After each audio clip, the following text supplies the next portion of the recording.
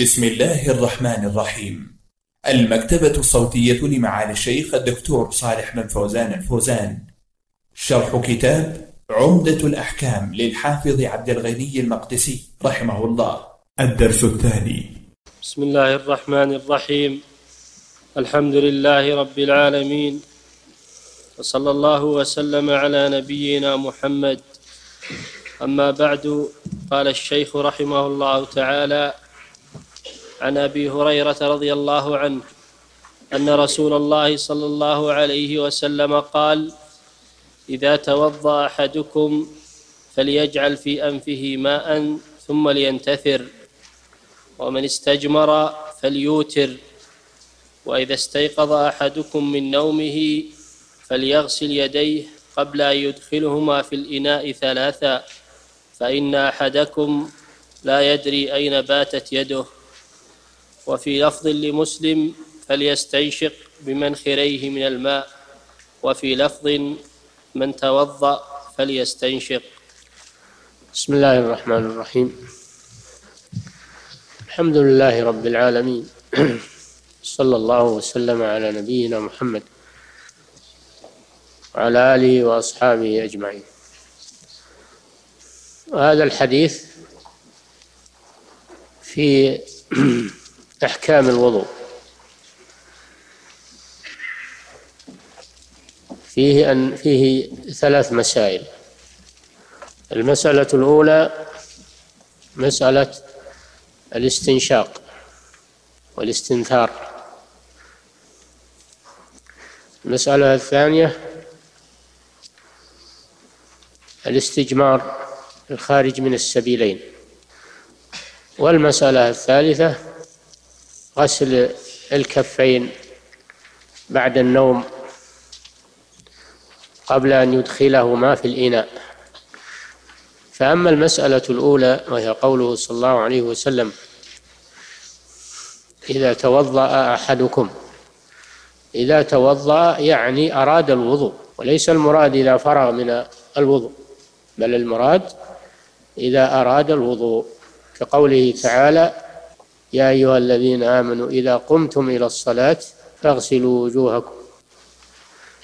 أي إذا أردتم القيام للصلاة. وليس المراد أنه يتوضأ وهو قائم. كذلك قوله فإذا قرأت القرآن فاستعذ بالله. أي إذا أردت القراءة فاستعذ بالله. وليس المراد إذا فرغت. من القراءة فاستعذ بالله. فقوله إذا توضأ أحدكم أي أراد الوضوء فليجعل في أنفه ماء ثم لينثر. وفي آخر الرواية يستنشق الماء ثم ينثر. هذا فيه مشروعية الاستنشاق في الوضوء والاغتسال. والاستنشاق هو إدخال الماء إلى الأنف بنفس جذب جذب الماء إلى الأنف بالنفس ثم إخراجه منه بالنثر أي نثره بالنفس أيضا. فيدخل الماء إلى أنفه ويجذبه بنفسه ثم ينثره. لأن داخل الأنف في حكم الظاهر فهو من الوجه. ظاهر الحديث وجوب الاستنشاق في الوضوء وفي الحديث الآخر في الحديث الآخر وبالغ في الاستنشاق إلا أن تكون صائما. وقد اختلف العلماء في الاستنشاق هل هو واجب أو مستحب على قولين. قول الأول أنه واجب لأمر النبي صلى الله عليه وسلم به. في هذا الحديث. فلو توضأ ولم يستنشق لم يصح وضوءه. والقول الثاني أنه مستحب لأن النبي صلى الله عليه وسلم قال للأعرابي توضأ كما أمرك الله. فأحاله على الآية يا أيها الذين آمنوا إذا قمتم إلى الصلاة. وليس فيها ذكر الاستنشاق. دل على أن الأمر به هنا للاستحباب لا للوجوب. والقول الأول أرجح بلا شك لأن لأن الأمر يقتضي الوجوب. والآية مطلقة. والحديث فيه زيادة من الرسول صلى الله عليه وسلم. قد قال الله جل وعلا وما آتاكم الرسول فخذوه. وما نهاكم عنه فانتهوا ولأن الرسول مبين الرسول صلى الله عليه وسلم مبين لمعنى الآية. مبين لمعنى الآية ومفسر للقرآن. فيكون الاستنشاق من جملة الوضوء المأمور به في الآية لأن الرسول مفسر للآية ومبين لها. هذه مسألة. المسألة الثانية إذا استجمر أحدكم استجمر استجمار استعمال الجمار وهي الحجارة. الحجارة الصغيرة تسمى جمارا ومنه رمي الجمار رمي الحصيات. قوله إذا استجمر أحدكم الاستجمار هو مسح هو مسح المخرج. القبل أو الدبر بعد خروج الحدث لإزالة أثر لإزالة أثر النجاسة. فإذا قضى حاجته ببول أو غائط فإنه يزيل أثر النجاسة ولا يتركها. إما بالاستجمار وهو استعمال الحجارة أو ما يقوم مقامها مما ينظف المحل أو بالاستنجاء وهو غسل المخرج بالماء. فإن جمع بينهما فهو أحسن. إن استجمر ثم استنجى فهو أحسن وأتبع الحجارة بالماء. وإن اقتصر على أحدهما أجزى إن اقتصر على الاستجمار أجزى وإن اقتصر على الاستنجاء أجزى لأن المقصود منه إزالة أثر النجاسة من على المخرج. وفي هذا الحديث أنه يوتر بمعنى أنه يستجمر بثلاثة أحجار كما جاء في الحديث الآخر أنه صلى الله عليه وسلم استجمر بثلاثة أحجار فمعنى الإيتار أن يستجمر بثلاثة أحجار إن أنقى بها وإلا زاد عليها لكن لا يقتصر على العدد الشفع بل يوتر. فإن أوت فإن استجمر فإن أنقى بثلاث لم يزد عليها. وإن احتاج إلى زيادة فليكن على وتر يجعلها خمسا ولا يجعلها أربعا. وإن احتاج إلى زيادة يجعلها سبعا ولا يجعلها ستا. هذا معنى فليوتر يعني يقطع استجماره على وتر لا على شفع. فيه دليل على أن الاستجمار يكفي لإزالة أثر الخارج بشرط أن يكون منقيا بشرط أن يكون منقيا للمحل ومنشفا له. والأصل فيه الأحجار. وإن استعمل ما يقوم مقام الأحجار قد يكون الإنسان في مكان ليس فيه أحجار مثل دورات المياه مثل ما فيها أحجار يستعمل ما يقوم مقامها في في تنقية المحل مثل المناديل الخشنة المستعملة مثل قطع الطين قطع الطين القوية. يستعملها يستعمل ما يقوم مقام الحجارة مما ينقي المحل ولو لم يكن حجارة. إلا أن النبي صلى الله عليه وسلم نهى عن الاستجمار بالروثة كما يأتي. الروث وهي رجيع الدواب. نهى عن الاستجمار به وعن الاستجمار بالعظم عن الاستجمار بشيئين الروثة والعظم. فدل على أن ما عداهما يستعمل في الاستجمار بشرط أن يكون منقيا يعني منشفا للمحل. لا يستعمل الشيء الأملس أو الشيء الصقيل الذي لا لا ينشف المحل. حتى قال الحنابلة لو استجمر بحجر له شعب حجر واحد له شعب. تقوم كل شعبة مقام حجر. لو استعمل حجرا واحدا له شعب واستجمر بكل شعبة ونقى المحل فإنه يكفي. ولو بحجر ذي شعب كما في متن الزاد. ولكن على كل حال ما فعله الرسول صلى الله عليه وسلم أو لا أو قد يكون هو الواجب وهو أنه استعمل ثلاثة أحجار. يسمى الاستجمار ويسمى الاستطابة. يسمى الاستطابة والاستجمار المعنى واحد. المسألة الثالثة إذا قام أحدكم من النوم فليغسل يديه وليغسل كفيه ثلاثا قبل أن يدخلهما في الإناء فإن أحدكم لا يدري أين باتت يده. فيه مشروعية غسل الكفين للقائم من النوم للقائم من النوم.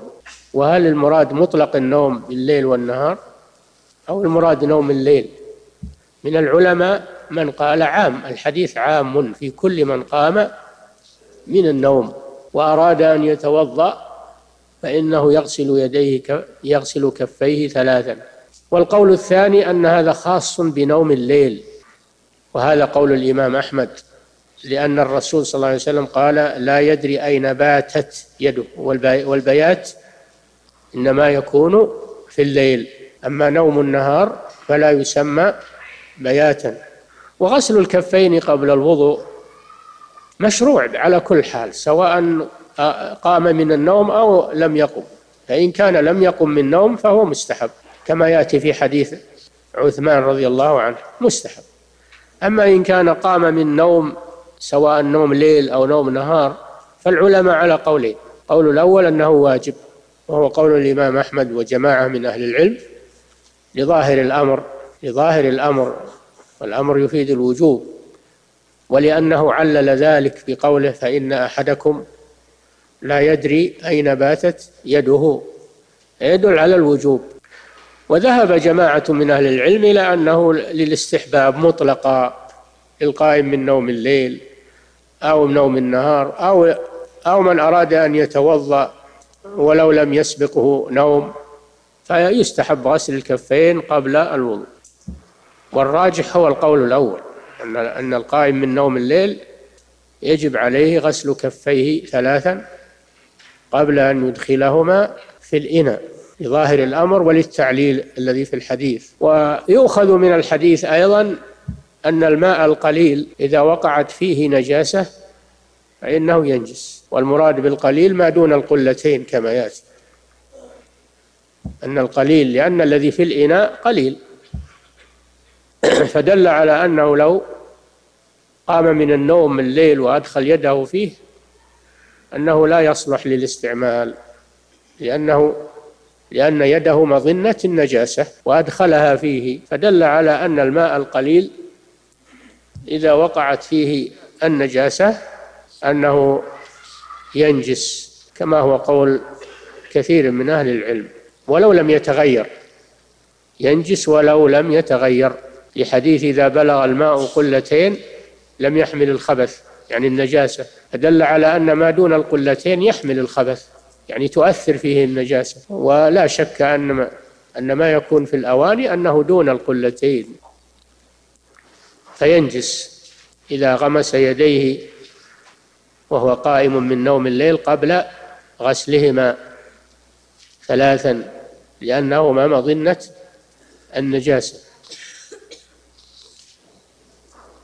وفي الحديث أيضا الاحتياط العمل بالاحتياط.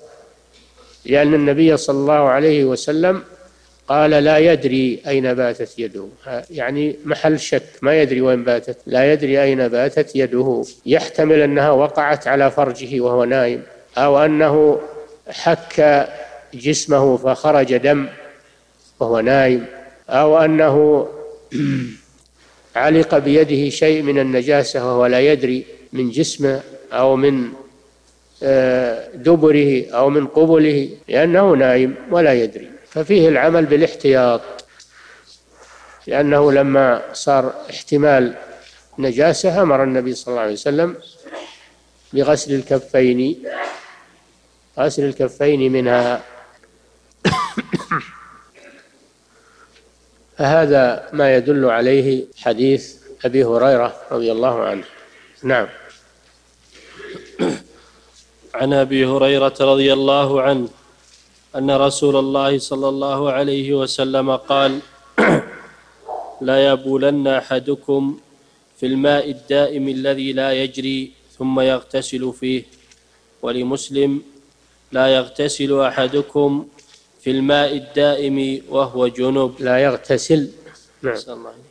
ولمسلم لا يغتسل أحدكم في الماء الدائم وهو جنب. نعم الحديث في روايته يدل على أن الماء الدائم والماء الدائم فسره صلى الله عليه وسلم الذي لا يجري الماء الراكد الذي لا يجري. أنه يتأثر بشيئين. يتأثر بالبول فيه ويتأثر أيضا بالإغتسال فيه من الجنابة. أما المسألة الأولى وهي لا يبولن أحدكم في الماء الدائم. هذا فيه النهي عن البول في الماء الدائم يعني الذي لا يجري لأنه يقذره وينجسه يقذره وينجسه. وجاء الحديث الثاني في النهي عن أن يبول في الموارد يعني عند عند الماء الذي يورد تشرب منه الدواب ويشرب منه الناس فلا يقضي حاجته عنده لأن ذلك يؤثر ويلوث الناس والدواب وجعل وجعل من فعل ذلك ملعونا. البراز في الموارد هذا من الملاعن الثلاث فلا يبول فيه ولا يبول عنده أيضا بل يبتعد يبتعد عنه. والحديث عام في القليل والكثير ما دام أنه دايم يعني راكد فلا يجوز البول فيه. وهذا ما ذهب إليه الإمام أحمد ذهب إلى أن البول ينجس الماء ولو كان كثيرا. إلا إذا كان يشق نزحه إذا كان يشق نزحه فإنه لا يؤثر فيه كمصانع طريق مكة وهي البركات التي عملت بالحجارة والجص فصارت تختزن الماء للحجاج في طريقهم وهي براك كبيرة. هذه يشق نزحها. فإذا كان يشق نزحه فإنه لا يتنجس ببول الإنسان. قال ومثله من باب أولى العذرة لا يتغوط فيه لا يتغوط في الماء الدائم وهو الماء الراكد. فإن فعل فإنه ينجس ظاهر الحديث سواء كان قليلا أو كثيرا. هذا قول الإمام أحمد. الجمهور يقولون إن كان قليلا فنعم. أما إن كان كثيرا فإنه لا يؤثر فيه البول. بدليل قوله صلى الله عليه وسلم إذا بلغ الماء قلتين لم يحمل الخبث يعني لم يتؤثر فيه النجاسة ولكن ظاهر الحديث العموم يشهد لقول الإمام أحمد لعموم الحديث ولم يقل لا يبولن أحدكم في الماء الدائم القليل بل عمم صلى الله عليه وسلم عن البول في الماء الدائم. ويدل بمفهومه على أن الماء الجاري أنه لا يتنجس بالبول. الماء الجاري لا يتنجس بالبول لأن لأنه يدفع يدفع النجاسة بجريه. فالذي وقع عليه البول من الجريات يذهب ويأتي جريات جديدة لم يحصل فيها بول. فالماء الذي يجري لا يؤثر فيه بول الآدمي أو عذرته.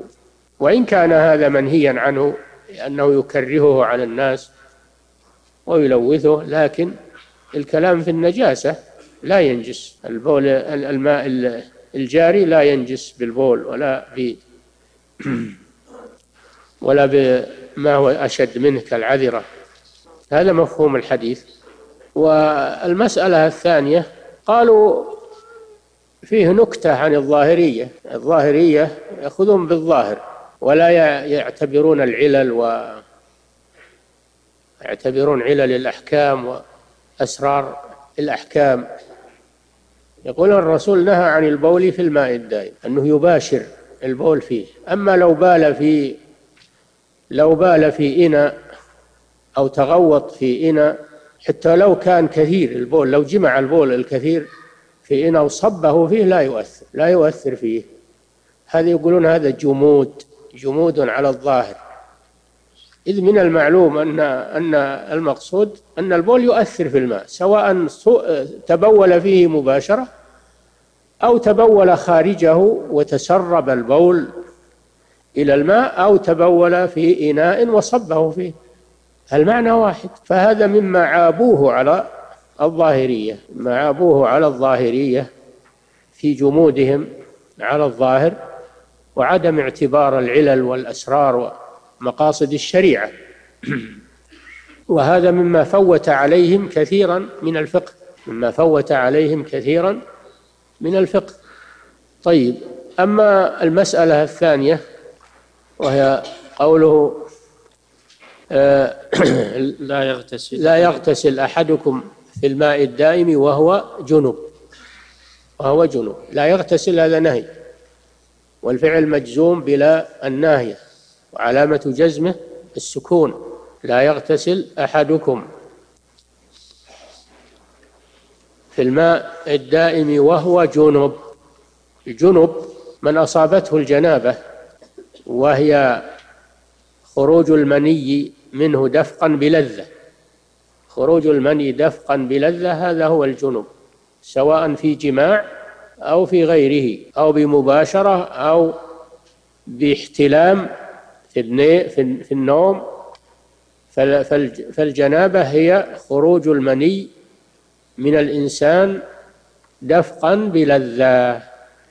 أما لو خرج بدون لذة كالمريض اللي ينساب منه والمصاب الذي لا يمسك ذكره لا يمسك ويخرج منه بدون لذة هذا لا يعد لا يسمى جنبا. هذا ينقض الوضوء فقط ولا يوجب الإجناب ولا يجب عليه اغتسال. هذا معنى الجنب سمي جنبا لأن من المجانبة لأن الماء باعد محله وجانبه.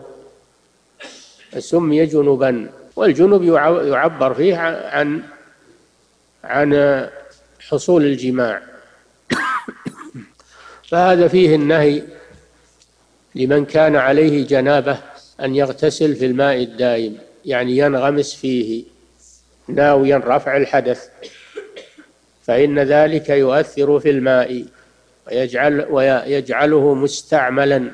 لا تصح الطهارة منه لأنه صار مستعملا برفع حدث أكبر. هذا ظاهر الحديث وبعض العلماء يقول هذا للكراهة وليس هو ليس هو للتحريم. ولا يسلب الماء الطهورية لكنه مكروه الاستعمال. ولكن ظاهر الحديث أنه يسلبه لأنه مع فائدة الحديث. ودل الحديث بمفهومه كما سبق على أن الماء الجاري لا بأس أن ينغمس فيه ويغتسل في الماء الجاري ولا يؤثر هذا فيه. إنما الكلام في الماء الدائم الذي لا يجري. نعم. عن أبي هريرة رضي الله عنه أن رسول الله صلى الله عليه وسلم قال إذا شرب الكلب في إناء أحدكم فليغسله سبعا ولمسلم أولاهن بالتراب وله في حديث عبد الله بن مغفل أن رسول الله صلى الله عليه وسلم قال إذا ولغ الكلب في الإناء فاغسلوه سبعا وعفروه الثامنة بالتراب. نعم هذا الحديث في مسألة ولوغ الكلب في الماء. شرب أو ولغ والولغ هو اللغة العربية. يقال ولغ الكلب إذا شرب بطرف لسانه. إذا شرب بطرف لسانه هذا هو الولوغ وفي بعض حديث آخر إذا ولغ أو رواية أخرى إذا ولغ الكلب إذا ولغ الكلب. في إناء أحدكم وقوله إذا شرب يعطي أن الماء أن الإناء فيه فيه ماء. شرب منه الكلب فيكون سؤره نجسا. يعني الباقي بعده نجسا. وأما رواية ولغ فلو لم يكن في الماء في, في الإناء ماء. لو أنه لعق لعق الإناء فكذلك مثل ما لو شرب. فهذا معنى ولغ الكلب في إناء أحدكم. فليغسله فليغسله سبع مرات. سبع مرات. أولاهن بالتراب. وفي رواية إحداهن بالتراب. وفي رواية أخراهن بالتراب. وفي رواية وعفروه الثامنة بالتراب فدل هذا الحديث على مسائل.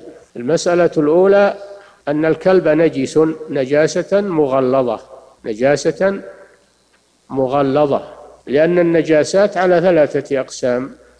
نجاسة مغلظة وهي نجاسة الكلب والخنزير وما في معناهما. ونجاسة مخففة. وهي نجاسة بول الغلام الذي لا لم يأكل الطعام وهذا يأتي.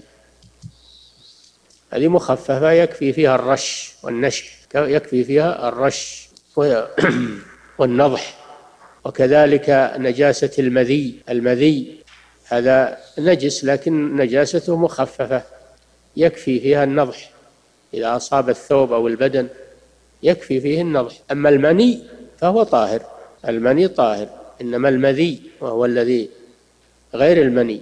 هذا نجس لكن نجاسته مخففة. النوع الثالث نجاسة متوسطة وهي بقية النجاسات كنجاسة البول والغائط والدم هذه نجاسة متوسطة تغسل حتى تزول تغسل حتى تزول بدون تحديد بعدد. هذه أنواع النجاسات. والتي معنا الآن النجاسة المغلظة وهي نجاسة الكلب وما في معناه كالخنزير. الحديث يدل على نجاسة الكلب وأنها نجاسة مغلظة لأن الرسول صلى الله عليه وسلم أمر فيها بأمرين الأمر الأول أن تغسل سبعا الأمر الثاني أن تعفر بالتراب. هذا دليل على غلظ النجاسة. فلو غسله دون السبع لم يجزي لأن الرسول أمر بالسبع. فلو غسله دون السبع لم يجزي لأنه لم يعمل بقول الرسول صلى الله عليه وسلم. ودل الحديث على استعمال التراب في تطهير الإناء بعد الكلب. والتراب المراد به التراب الطهور. تراب الطهور. فيستعمل في غسل الإناء بعد الكلب لكن هل يكون التراب في الغسلة الأولى كما جاء في الرواية أو يكون في الآخر في الأخيرة كما جاء في رواية أخرى أو يكون في إحدى الغسلات الأولى أو الثانية أو الوسط أو الظاهر والله أعلم أن المقصود وجود التراب سواء استعمله في الغسلة الأولى أو استعمله في الغسلة الأخيرة أو استعمله في الوسط. المقصود وجود التراب في غسل الإناء بعد الكلب.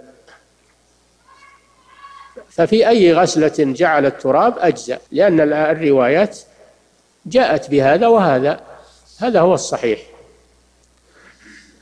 أن المقصود استعمال التراب في أي غسلة من الغسلات. وما كيفية استعمال التراب؟ على قولين. القول الأول أنه يذر التراب في الإناء ويغسله. يذر التراب في الإناء ثم يغسله. والقول الثاني أنه يذر الماء في أنه يذر التراب في الماء. يذر التراب في الماء ثم يغسل به الإناء. وعلى كل حال الأمر واسع في هذا. المهم وجود التراب سواء ذره في الإناء أو ذره في الماء. وهل يجزي عن التراب بقية المواد المنظفة كالإشنان والصابون والمزيل المواد المنظفة المعروفة الآن؟ المذهب نعم يجوز عند الحنابلة. قال ويجزي في متن الزاد قال ويجزي عن التراب إشنان ونحوه. ولكن الصحيح أنه لا يجزي غير التراب لأن النبي صلى الله عليه وسلم نص على التراب. فلا يقوم غيره مقامه. ولأن التراب أحد الطهورين.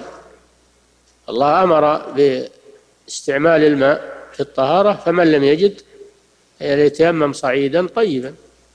فالتراب أحد الطهورين وليس ذلك في الصابون والإشنان لا يتطهر بالصابون ولا بالإشنان إذا عدم الماء. فالتراب له خاصية أنه أحد الطهورين. فلا يعدل عنه. وأيضا من الناحية الطبية لأن بعض الباحثين بعض الباحثين من الأطباء ذكروا أن ريق الكلب فيه مادة ضارة فيه مادة ضارة لا يقطعها إلا التراب. هي يقولون مادة ضارة مؤثرة لا يقطعها إلا التراب. التراب فيه خاصية وهذا من معجزاته صلى الله عليه وسلم حيث إنه نص على شيء أدرك الأطباء فيما بعد أنه لا ينفع غيره في هذا الشيء. يكون هذا من الإعجاز في الحديث. على كل حال تعليل بأن التراب أحد الطهورين هذا أقوى بلا شك وأن الرسول نص عليه فلا نتعدى المنصوص.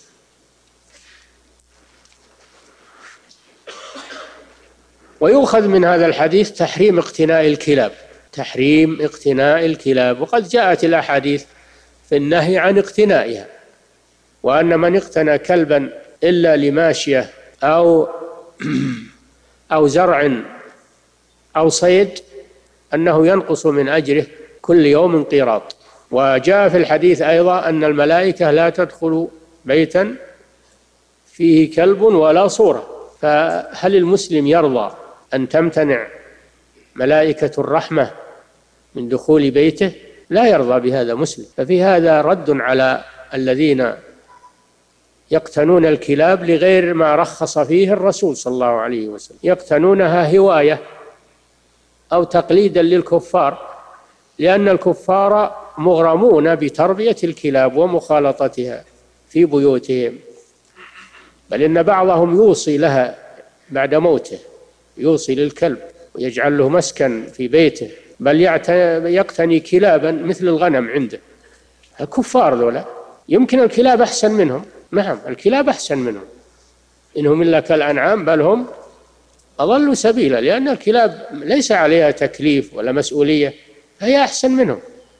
فلا غرابة إذا اقتنوها لأنهم أخس من الكلاب عندهم الكفر.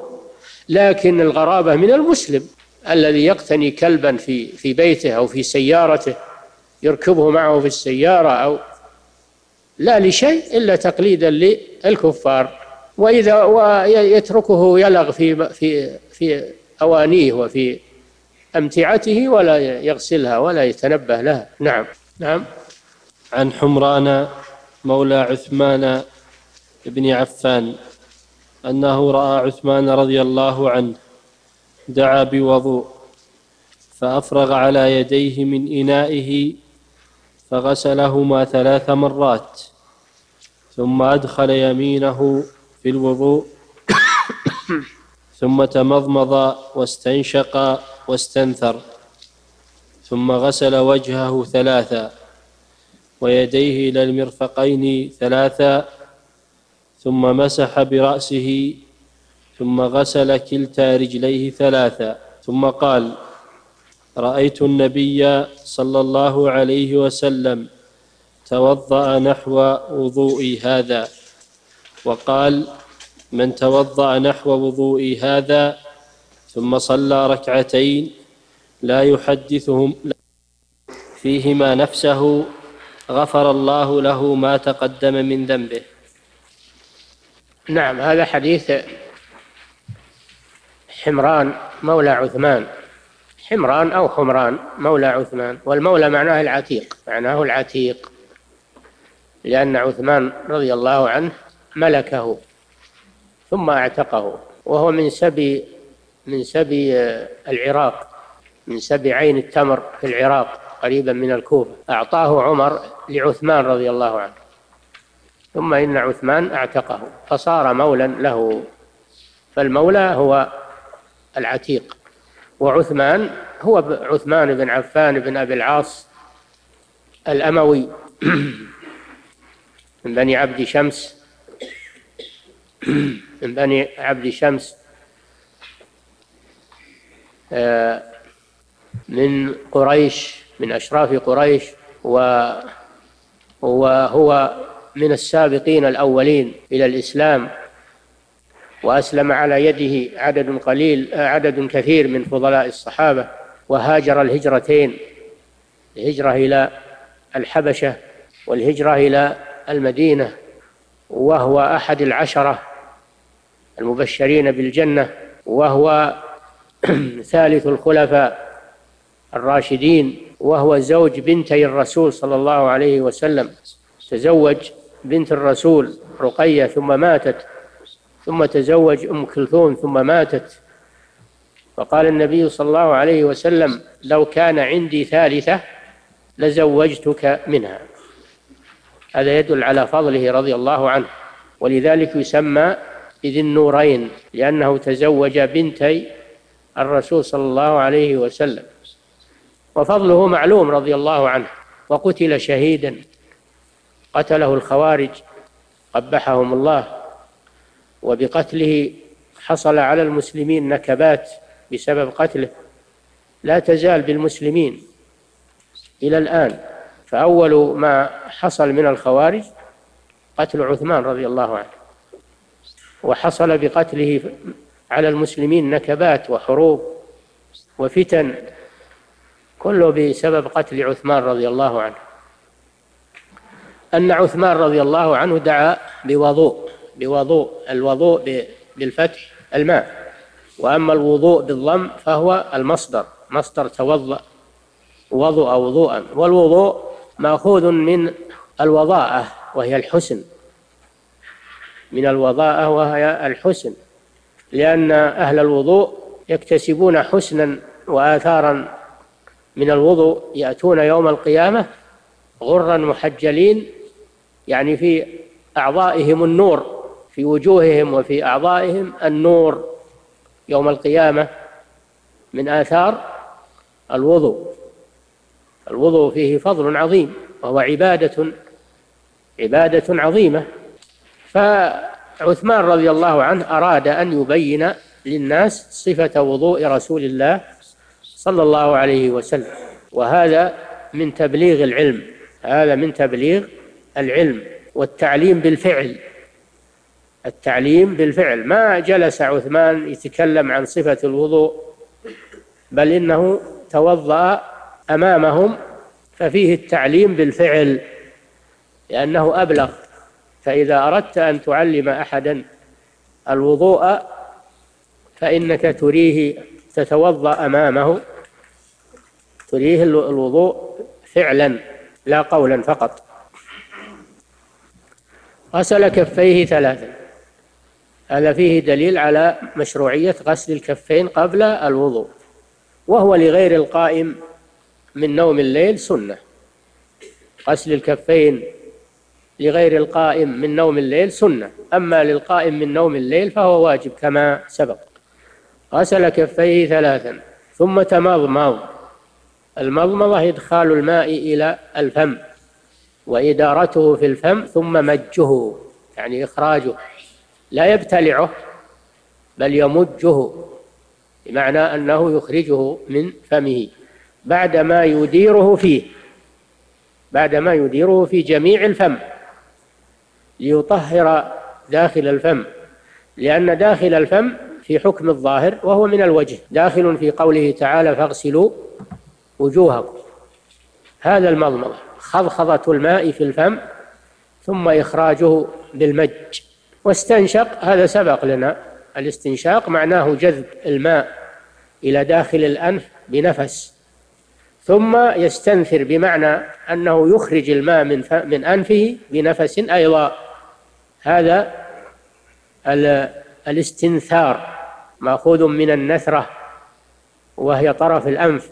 فهذا فيه دليل على أن المضمضة والاستنشاق داخلان في الوضوء وأنه لو توضأ ولم يتمضمض ولم يستنشق لم يصح وضوءه لأنه لم يتوضأ وضوء رسول الله صلى الله عليه وسلم الذي رواه عنه الخليفة الراشد عثمان رضي الله عنه ورواه غيره كما يأتي وقال لا يقبل الله الصلاة إلا به.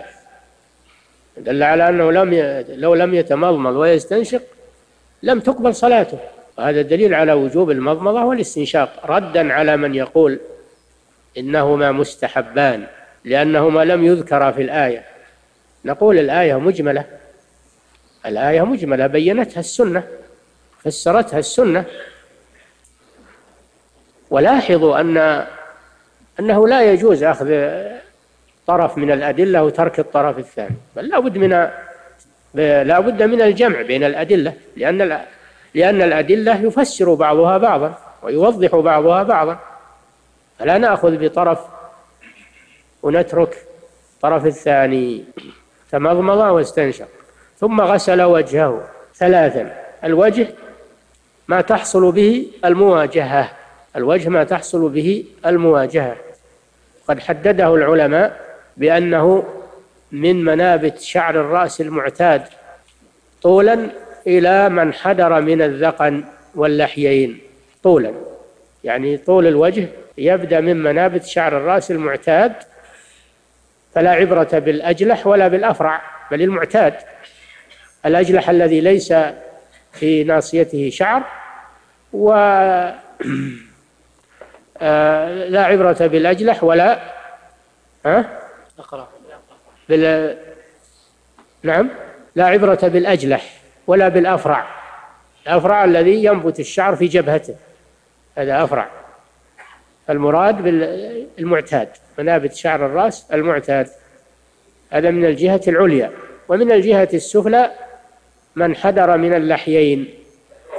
لأن في جانبي الوجه عظمان يسميان باللحيين. يجتمعان في الذقن. يجتمعان في الذقن.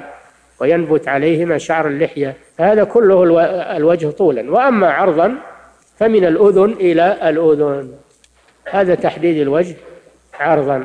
كل هذا يجب غسله. كل هذا يجب غسله في الوضوء. فلو ترك شيئا منه لم يصح وضوء وقوله ثلاثا الواجب مرة. الواجب مرة. والثلاث سنة. لو غسله مرتين أو ثلاثا فهذا سنة ومستحب وإن اقتصر على واحدة أجزأت. ثم غسل يديه مع المرفقين.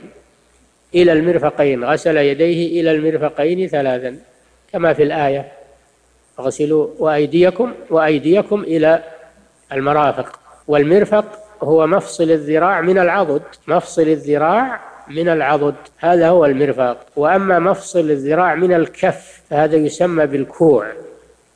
مفصل الذراع من الكف يسمى بالكوع. ومفصل العضد من آه، من الكتف هذا يسمى بالكتف. فاليد فيها ثلاثة مفاصل مفصل من الكتف ومفصل من المرفق ومفصل من من الكف. والمطلوب غسل الأيدي إلى المرافق. ولا بد من غسل المرفق مع الذراع لقول لأنه صلى الله عليه وسلم لما توضأ أدار الماء على مرفقيه فدل على أنهما داخلان في المغسول فعلى هذا تكون إلى بمعنى مع وأيديكم إلى المرافق يعني مع المرافق لأن إلى تأتي بمعنى مع إلى الانتهاء الغاية قالوا فإن كان ما بعدها مخالف لما قبلها فإن ما بعدها لا يدخل مثل يتم الصيام إلى الليل الليل من غير جنس النهار. أما إذا كان ما بعدها لا يخالف ما قبلها فإن ما بعدها يدخل مثل وأيديكم لأن كله يسمى يد إلى المرافق يعني مع المرافق. ثم مسح برأسه. قوله تعالى وامسحوا برؤوسكم. والرأس إذا أطلق يعم جميع الرأس. فيمسح جميع رأسه ولا يكتفي بمسح بعضه لا يكتفي بمسح بعضه. وصفة مسح الرأس كما يأتي أنه أنه وضع يديه صلى الله عليه وسلم على ناصيته ثم أمرهما إلى قفاه ثم ردهما إلى المكان الذي بدأ منه. هذا مسح الرأس. والمسح هو المسح غير الغسل. المسح أن تضع يديك مبلولتين بالماء. على رأسك وتمرهما عليه. هذا هو المسح وأما الغسل فلا بد من إفاضة الماء على العضو. ثم غسل رجليه ثم غسل كلتا كلتا رجليه مع مع الكعبين ثلاثا. ما يقال في في المرفقين يقال في الكعبين. والكعبان هما العظمان الناتئان في أسفل الساق. العظمان الناتئان في أسفل الساق. هؤلاء هما الكعبان إلى الكعبين والكعبان داخلان في الغسل يغسل رجليه مع الكعبين. ثلاثا هذا سنة وواحدة هذا هو الواجب.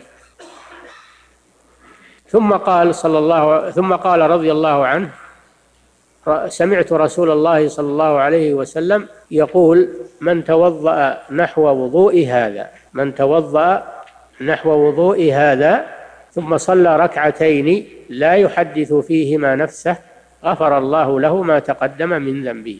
هذا فيه استحباب الاقتداء وفيه وجوب الاقتداء برسول الله صلى الله عليه وسلم في الوضوء وغيره في الوضوء وغيره. وما آتاكم الرسول فخذوه لقد كان لكم في رسول الله أسوة حسنة.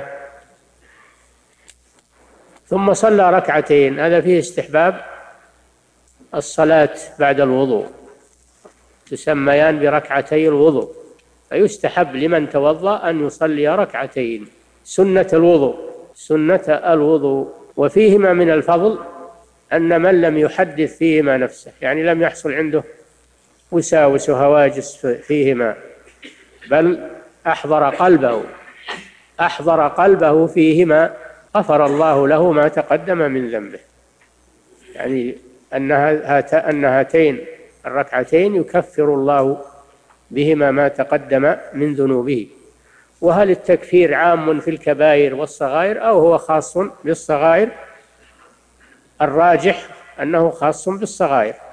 قوله تعالى إن تجتنبوا كبائر ما تنهون عنه نكفر عنكم سيئاتكم. قوله صلى الله عليه وسلم الصلوات الخمس والجمعة إلى الجمعة ورمضان إلى رمضان كفارة لما بينهن إذا اجتنبت الكبائر بشرط أن تجتنب الكبائر. فهذا الحديث فيه فوائد عظيمة. فائدة الأولى مشروعية غسل الكفين. ولا بد من النية لا بد من النية. قوله صلى الله عليه وسلم إنما الأعمال بالنيات. ويشرع أيضا أن يسمي قوله صلى الله عليه وسلم لا وضوء لمن لم يذكر اسم الله عليه. وهل هي واجبة أو سنة؟ الإمام أحمد عنده أنها واجبة والجمهور على أن التسمية سنة. فيه وجوب المضمضة والاستنشاق. وجوب المضمضة والاستنشاق لأن هذه صفة وضوء رسول الله صلى الله عليه وسلم. والرسول صلى الله عليه وسلم إذا فعل فعلا يفسر به القرآن ففعله يكون واجبا. وفعله هذا يفسر الآية لقوله تعالى يا أيها الذين آمنوا إذا قمتم إلى الصلاة فاغسلوا وجوهكم. في الحديث أن التثليث في غسل الأعضاء أنه سنة. تثليث في غسل الأعضاء أنه سنة مستحب. في الحديث وجوب الترتيب. وجوب الترتيب بين الأعضاء كما أمر الله بذلك ورتبها. وقال صلى الله عليه وسلم أبدأ بما بدأ الله به ففيها الترتيب بين الأعضاء وأن هذا من شروط صحة أو من فروض صحة الوضوء. وفيه استحباب صلاة وفيه الموالاة الحديث دليل على وجوب الموالاة بين غسل الأعضاء. فلو فلو أخر غسل العضو حتى ييبس الذي قبله فإنها تفوت الموالاة. ولأن عثمان رضي الله عنه توضأ مواليا وقال هذه صفة وضوء رسول الله صلى الله عليه وسلم. وفيه فضيلة ركعتي الوضوء. أنه يستحب لمن توضأ أن يصلي ركعتين. وقوله لا يحدث فيهما نفسه يعني الخشوع في الصلاة. وعدم الخروج بقلبه عن الصلاة بالهواجس وإذا عرض له شيء فعليه أن يبادر بالرجوع إلى صلاته. ولا يستمر مع حديث النفس بل يبادر بالرجوع إلى صلاته ولا يضره ذلك إن شاء الله. أما لو استمر في الهواجس حتى فرغ إنه لا يكتب له أجر. لا في الفريضة ولا في النافلة. لا يكتب له من صلاته إلا ما عقل منها كما جاء في الحديث. هذا والله أعلم. صلى الله وسلم على نبينا محمد وعلى آله وصحبه أجمعين. نعم. فضيلة الشيخ يقول السائل هل مسح الأذنين واجب؟ وما هي كيفية المسح؟ هذا يبي يأتي إن شاء الله. مسح الأذنين واجب لا بد منه. ظاهرهما وباطنهما لأن الأذن لأن الأذنين من الرأس. الله جل وعلا قال وامسحوا برؤوسكم والأذنان من الرأس. لكن لهما مسح خاص يأتي إن شاء الله. نعم. فضيلة الشيخ هل ينكر على من أخذ ماء للمضمضة؟ هل؟ هل ينكر على من أخذ ماء للمضمضة وماء مستقل للاستنثار؟ هذا يأتي إن شاء الله. وصفة المضمضة والاستنشاق أنه يأخذ غرفة فيقسمها. الغرفة الواحدة يقسمها بين فمه وأنفه. يأخذ ثلاث غرفات. كل غرفة يقسمها بين فمه وأنفه. نعم. فضيلة الشيخ يقول السائل هل يجب على المغتسل المضمضة والاستنشاق؟ نعم يجب لأنهما في حكم الظاهر. في حكم الظاهر فهما من الوجه. نعم. فضيلة الشيخ يقول السائل هل يجب غسل غائط الكلب إذا وقع في الإناء سبع مرات؟ أشد. غائطه أشد من بوله. يجب غسله سبع مرات ويعفر بالتراب في الثامنة. ونجاسة الكلب نجاسة عينية عينية لا يزيلها الغسل. لو تغسل الكلب بالبحار ما زال ما زالت نجاسة. ونجس عين. نجاسة عينية. العينية هي التي لا يمكن تطهيرها. فالكلب نفسه نجس نجاسة عينية لا يمكن تطهيره. نعم. مثل الميتة. ميتة نجسة نجاسة عينية. نعم. فضيلة الشيخ يقول السائل ذكر الفقهاء رحمهم الله أن يكون ما يستجمر به مباحا فما المقصود بذلك؟ نعم مباح. يعني ليس لأحد ليس مملوكا لأحد. المباح هو الذي ليس مملوكا لأحد وإنما لكل أحد أن ينتفع به. نعم. فضيلة ويخرج بذلك أيضا ما نهى الرسول عنه كالعظم والروث. هذا غير مباح. نعم. فضيلة الشيخ يقول السائل ما حكم اقتناء القطط كفعل أبي هريرة رضي الله عنه؟ لا بأس. اقتناء القطط لا بأس. بدليل حديث المرأة التي دخلت النار في هرة حبستها في هرة لها حبستها فلا هي أطعمتها ولا هي تركتها تأكل من خشاش الأرض. فدل على أنه لأنها لو أطعمتها وسقتها أنه لا بأس باقتنائه. والهر الهر من الطوافين من هو غير نجس وما يشرب منها ويأكل منها غير نجس. لأنه من الطوافين الذي التي تطوف على الناس في بيوتهم. ولو كانت نجسة لشق ذلك على المسلمين. نعم. فضيلة الشيخ يقول السائل هل الاستجمار بالتراب مجزئ؟ لا. لا يجزي الاستجمار بالتراب. لا بد من الحجر أو ما يقوم مقام الحجر في, في الإنقاء. التراب يلوث ولا ولا ينقي. نعم. فضيلة الشيخ يقول السائل هل يجوز لمس الكلب إذا كان في البيت؟ لمس؟ الكلب. إيه لا بأس بلمسه. إذا كان يابسا لا بأس بلمسه. لا بأس بلمسه إلا أنه لا يعلق به شيء من ريقه أو من بوله. أو أما مجرد لمسه وهو يابس ما في شيء.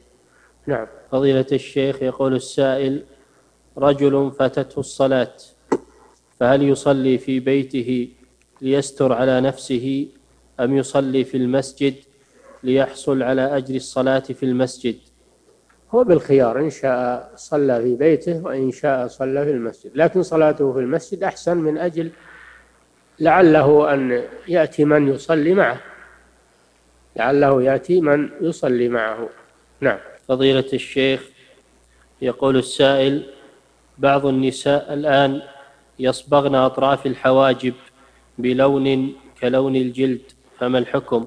هذا من العبث بالحواجب ولا يجوز لا يجوز العبث بالحواجب لا بتشقير ولا بقص أو نتف أو حلق هذا النمص. لا يجوز العبث بالحواجب. هذا من المشكل أن النساء تعبث بالحواجب والرجال يعجبون يعبثون باللحى لأن الرسول صلى الله عليه وسلم نهاهم عن ذلك نهى النساء عن العبث بالحواجب ونهى الرجال عن العبث باللحى فالشيطان يزين لهم هذا ويحثهم على معصية الرسول صلى الله عليه وسلم. نسأل الله أن يهدينا وإياهم. نعم. أحسن الله إليك. فضيلة الشيخ يقول السائل إذا قام الإمام إلى في صلاة الظهر إلى ركعة خامسة إذا؟ إذا قام الإمام في صلاة الظهر إلى ركعة خامسة. نعم. فماذا نفعل والحالة هذه؟ إذا كنت تعلم أنها خامسة يحرم عليك القيام. تجلس. إما أن وتتشهد. إما أن تنتظر تسلم معه وإما أن تسلم لنفسك. ولا يجوز لك أن تقوم معه وأنت تعلم أنها خامسة. فإن قمت بطلت صلاتك لأنك زدت فيها متعمدا فتبطل. نعم فضيلة الشيخ يقول السائل يصلي بعض يصلي بعض العوام أربع ركعات إذا دخل المسجد لصلاة الفجر نعم. ويقول ها؟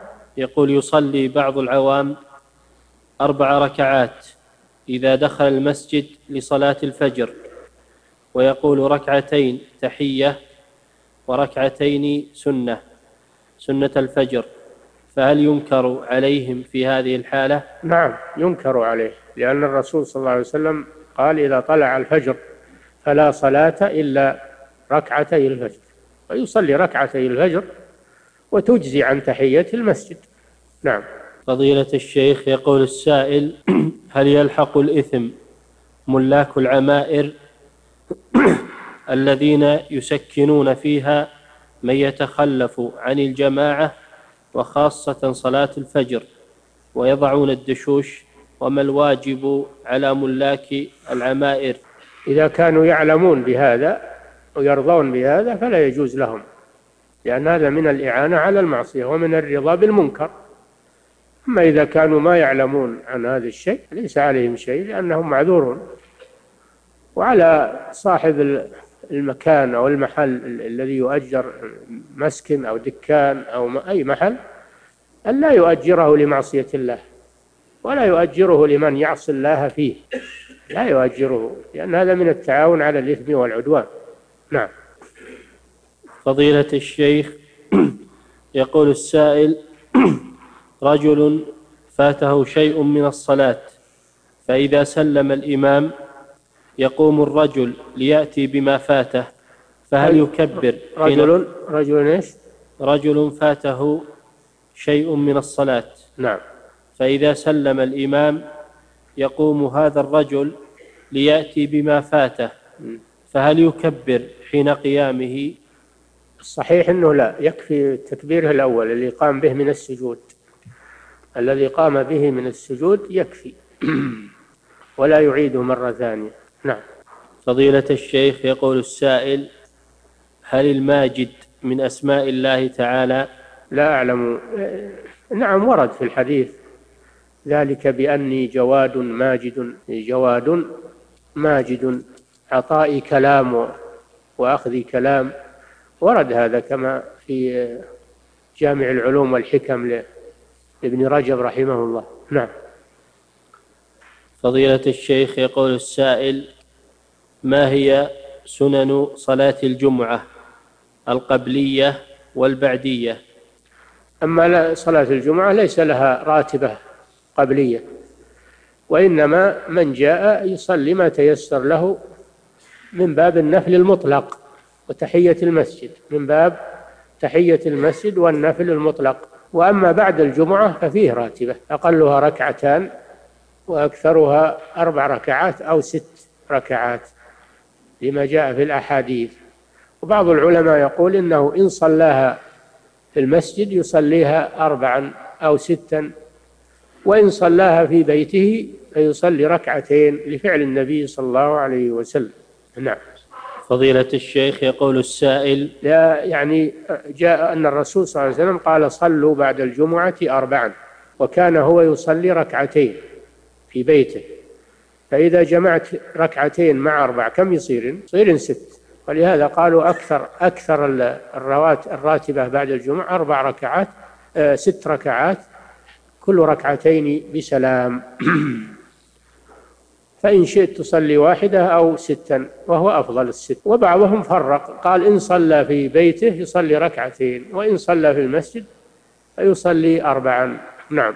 فضيلة الشيخ يقول السائل متى ينتهي وقت صلاة الضحى بالتوقيت الحالي المعروف عند الناس؟ وما هو الحد الأقصى لعدد ركعاتها؟ ينتهي وقت صلاة الضحى بدخول وقت الظهر بزوال الشمس. ينتهي بزوال الشمس. بل إنه إذا توسطت الشمس في كبد السماء صارت فوق الرؤوس ينهى عن الصلاة في هذا الوقت وإن كان وقتا قصيرا. وإن كان وقتا قصيرا ينهى عن الصلاة حينما تسامت الشمس الرؤوس. فيصلي الضحى إلى أن تتوسط الشمس في كبد السماء. هذا هو النهاية. وأكثر عدد الركعات ثمان ركعات كل ركعتين بسلام. نعم. فضيلة الشيخ يقول السائل نعلم أن الرسول صلى الله عليه وسلم كان يصلي عددا معينا من الركعات في الرواتب لكل صلاة راتبة. نعم. فهل يجوز لي أن أزيد عن ذلك العدد كأن أصلي ست ركعات أو ثمانية ركعات قبل الظهر مثلا؟ إذا كنت ترى أن أن الراتبة ثمان ركعات هذا ما يجوز. أما إذا صليت الراتبة وزدت عليها لا من باب أنه راتبة وإنما من باب أنه نفل مطلق فلا بأس. نعم. فضيلة الشيخ يقول السائل هل يجوز لي أن أصلي السنة الراتبة للعشاء قبيل أذان الفجر عندما أصلي الوتر؟ يا أخي وش الداعي لهذا؟ إذا صليت العشاء صل بعدها الراتبة لئلا تنساها. ولأن الراتبة مقرونة مع الفريضة قبلها أو بعدها فلا تؤخرها. نعم. والنبي صلى الله عليه وسلم كان يصلي الراتبة بعد الفريضة ما كان يؤخرها كان يصليها بعد الفريضة في بيته. نعم. والله تعالى أعلم وصلى الله وسلم على نبينا محمد وعلى آله وصحبه.